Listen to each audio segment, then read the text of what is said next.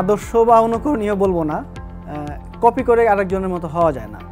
তো এটা আদর্শ বা অনুকরণীয় বলার চেয়ে যদি আমার কিছু গল্প, কোনো কথা অটোমেটিক্যালি কারও ইন্সপিরেশনের কারণ হয়, সেটা রিফ্লেকশন যদি কোনোভাবে দেখা যায়, আমি ধরে নেব সেটাই হয়তো আমার কথার কোনো কাজে লেগেছে। বাট আমার মতো হতে গিয়ে তার লাইফ স্টাইলে চেঞ্জ আনার কোনো দরকার নাই।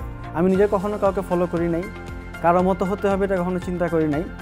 তো আমি আজকে কথা বলছি, তার মানে এই না যে আমি যা বলব সেটাই কোনো আইন, সেটাই কোনো কানুন বা এটা ফলো করলে ভালো কিছু হবে নট নেসেসারি হয়তো আমার দশটা কথার মধ্যে চার পাঁচটা কথা ভালো লাগতে পারে, সেটা করলে কারও লাইফ স্টাইলে যদি পরিবর্তন আনে চেঞ্জ আনে চেঞ্জ ম্যানেজমেন্টে যদি কোনো ইফেক্ট থাকে, আমি মনে করব সেটা আমার নিজের থেকে ভালো লাগা কাজ করবে।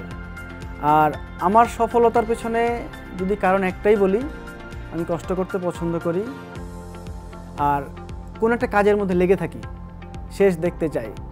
খুব শর্ট টার্ম প্ল্যান করি না লং টার্ম প্ল্যান থাকে সব সময়। বড় কিছু হওয়ার একটা নেশা, স্বপ্ন ছিল, এখনও আছে।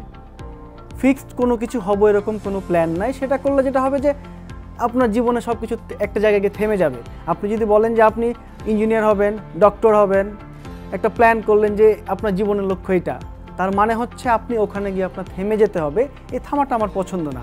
আপনি ভিশন থাকবে, আপনার প্ল্যান থাকবে যে আপনি যা কিছু করবেন সবার উপরে আপনি থাকবেন। আপনার হাইট সবার উপরে থাকবে ফ্লাই হাই আপনার হাইটটা যেন কেউ ছুতে না পারে অ্যাম্বিশনটা এরকম থাকবে। ফিক্সড কোনো কিছু করা যাবে না। জীবনের লক্ষ্য বলে কিছু নাই। জীবনের লক্ষ্য যদি রচনা লিখতে বলা হয়, কেউ যদি লিখেন আপনি ডক্টর হবেন ইঞ্জিনিয়ার হবেন, আপনার লাইফ ওখানেই থেমে যাবে। ডক্টর ইঞ্জিনিয়ার হওয়া পর্যন্তই আপনার শেষ। এর পরেও যে মানুষের ডেভেলপমেন্টের অব মানে অপশন থাকে, মানুষের ক্রিয়েটিভিটি থাকে, সেটা দেখানোর কোনো চান্স থাকে না। এই জন্য লাইফের ভিশনটা অন্য কিছু, বড় লেভেলের ইউনিক কিছু হবে এরকম থাকলে ভালো হয়। এটা গণ্ডির মধ্যে রাখা যাবে না।